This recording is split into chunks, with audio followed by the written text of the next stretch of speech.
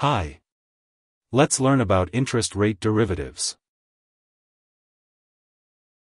An interest rate derivative is a financial instrument whose value is tied to the movements of an interest rate or rates. These can include futures, options, or swaps contracts. Institutional investors, banks, companies, and individuals use these to hedge against changes in market interest rates or to speculate on rate movements.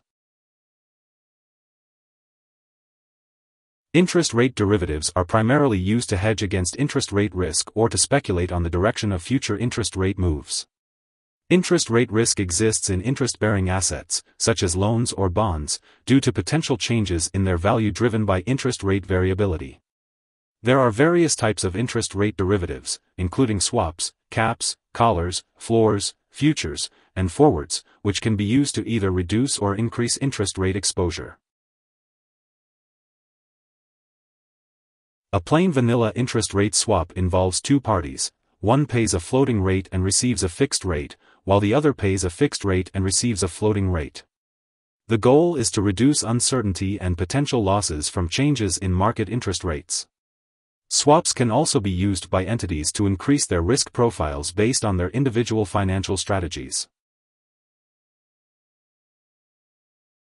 Companies with floating rate loans can buy interest rate caps to protect against rates exceeding a certain level, while those receiving floating rate payments can buy a floor to protect against declining rates.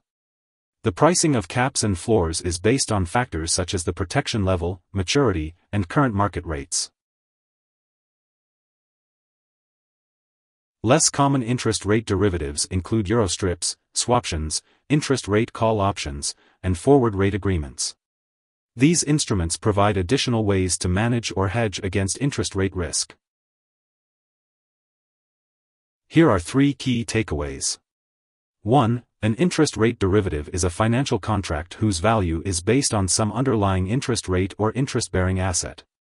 2. These may include interest rate futures, options, swaps, swaptions, and FRAs.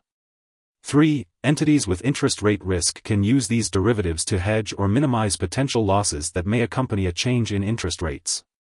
Hope this would help, thanks for watching.